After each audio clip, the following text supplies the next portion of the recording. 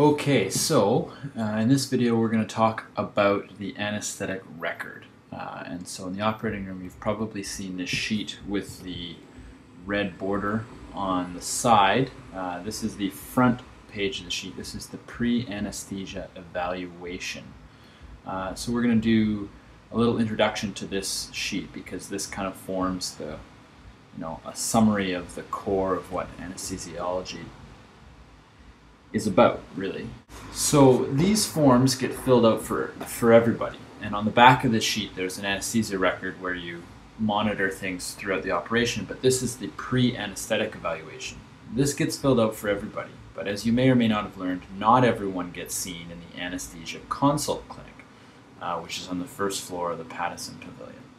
Those patients tend to be much more complicated. They have anesthetic concerns that need to be addressed preoperatively by an anesthesiologist and assessed for these concerns and what the best way to proceed is. Uh, most patients fall under the category of not needing this this anesthesia consult, and so they show up. They're they're evaluated independently first by a nurse over the phone for some of their medical history, and there's you know surgeons tend to flag patients they think will be more complicated uh, and flag them for the consult clinic. Um, but most patients show up the day of the surgery, having been booked in without having actually been seen by an anesthesiologist. So before the surgery, we need to go and make sure that given the patient's history, they don't have concerns that will preclude them from having surgery that day, from having anesthesia. Because ultimately, in the operating room, the patient is under your care. Uh, which is a, a concept that's important to understand in terms of the interaction between the team in the operating room. So when you go to see your next case in the preoperative care, they will have this sheet there with them. If they had been if they have been seen in the anesthesia consult clinic, this front page of the sheet will have already been filled out by the staff anesthesiologist who was seeing them in the the consult clinic, and there will be a report that has been generated from that consult that should also be in the patient's chart. Um, if they haven't been seen in the consult clinic, the sheet, the form will still be there, but it won't have been filled out by anybody. It'll be completely empty, and and then it's yours to take notes with as you see fit. And that's what we'll kind of go over with this video. And so the video will serve as an introduction to the sheet and as an introduction to a bit of a brief pre-anesthesia history and physical from the medical student's perspective. So let's see if I can zoom in here so we can see it a bit better.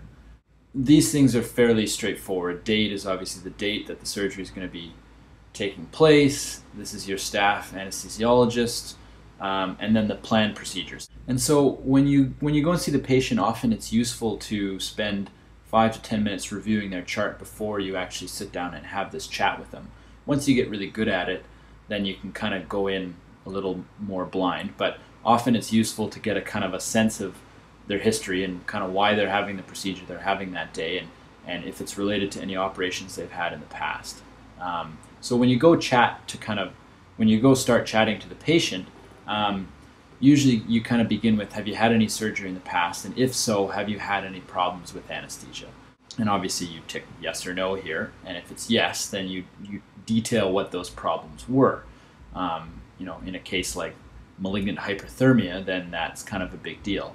But if they were you know a little nauseous after the procedure then you know there are things you can do to kind of counteract that and and be prepared for that you can move on to now kind of more specific points in the history, like do they smoke?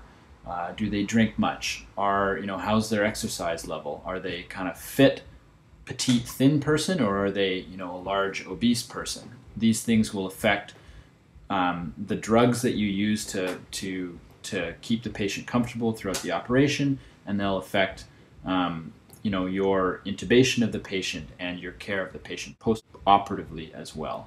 Um, are they an aspiration risk? So do they suffer from heartburn a lot? Do they have lots of stomach problems? Um, have they ever aspirated in the past? Uh, do they have any respiratory problems? So you know you're going to be breathing for this patient. You need to know what kind of a state their airways and lungs are in. So do they have a history of asthma? Do they have COPD?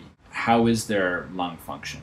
Um, do they have any cardiovascular problems? Things like anemia. Is there a potential that you know we're going to be need, needing to give this patient blood when you know if it's a if it's a quite an invasive procedure? Um, there may be a lot of blood loss. If they're already low on blood, then that just compounds that.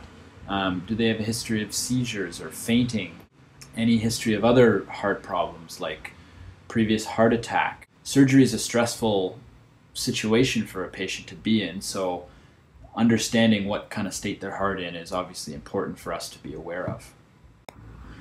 And in light of all this history, you want to go over the medications that the patient is is taking. This this should be in their chart, and they should have been um, notified as to which medications they uh, they shouldn't have taken the morning of the surgery uh, to make sure it's out of their system. So you know things you want to be aware of are, for example, if someone's on heparin or warfarin.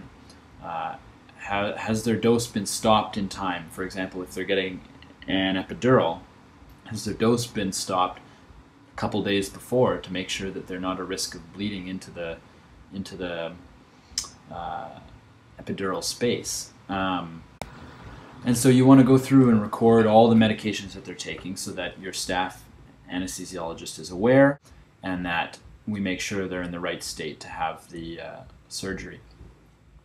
And then you kind of want to go over their their allergies. Um, and so often in, often in surgery we give patients antibiotics. So you want to make sure that they're not allergic to any of the antibiotics we're going to be giving them or any of the other drugs that we're going to be giving them.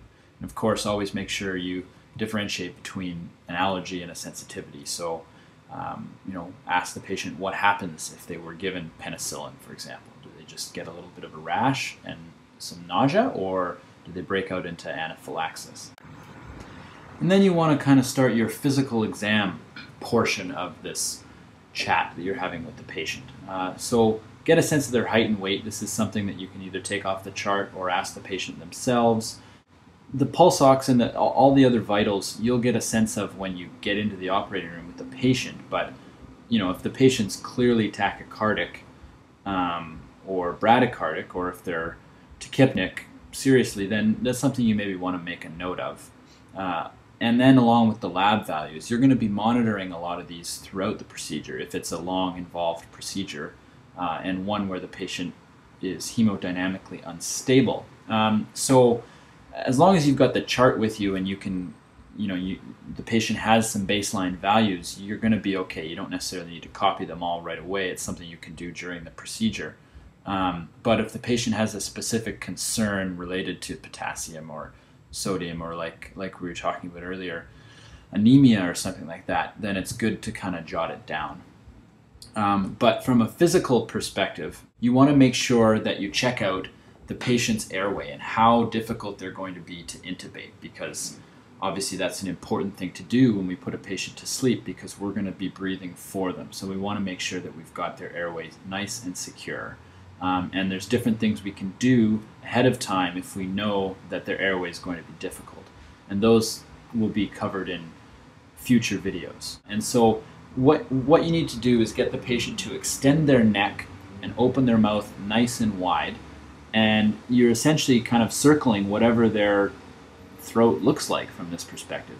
This is called a Mallampati score. And this is a 1, 2, 3, and 4 uh, in increasing levels of difficulty to intubate. Uh, so obviously, if you can see the back of the oropharynx there, um, you get nice um, delineation of the uvula. Um, you can see the soft palate edit, see the soft palate elevating. The tongue comes out nice and far, opens up nice and wide. That patient's going to be much easier to intubate than you know a Mallampati 4, for example, where you really, you know, you just get a congested mouth really here is kind of all you're seeing. You don't get any any definition of the uvula, that that kind of thing. And this is kind of a you know you, you get a sense of it the more that the more you do, you'll get a sense of how easy a patient is to intubate. So you get them to extend their neck back and open their mouth nice nice and wide. And in the same position, you measure what's called the thyromental distance, which is how many fingers can you fit in between the top of the thyroid cartilage and essentially the patient's chin. Um, and as long as you can fit two or more fingers in there, that's considered normal. Um, and then you can have a quick listen to the patient's chest and and heart. Um, just you know a cursory look um, to make sure there aren't any obvious abnormalities. Uh, and cursory in the sense that if they had any abnormalities, you should have picked it up on the history, um, and it should be in their chart. Uh, if they have any serious respiratory or cardiovascular abnormalities. Uh, but you just want to check and make sure. And then also on history, you could do, um, depending on what's going to happen to the patient during the procedure itself, if they're going to have an epidural, um, you can have a feel along their back to assess how easy or difficult placement of the epidural line would, would be. Uh, and that just about wraps up the physical exam. Like I was saying before, lab values you can kind of get from the chart. You can copy them down if you want, uh, and, but just to ensure that the patient has a baseline.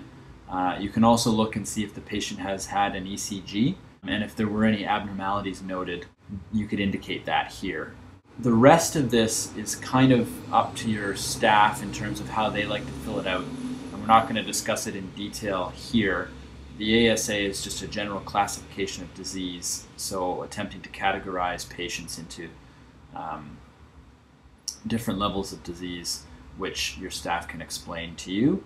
And yeah, so now we'll move on. If, yeah, if you have any final comments, you can kind of just place them here. Uh, there should be lots of room on the sheet to make notes of anything that you see fit.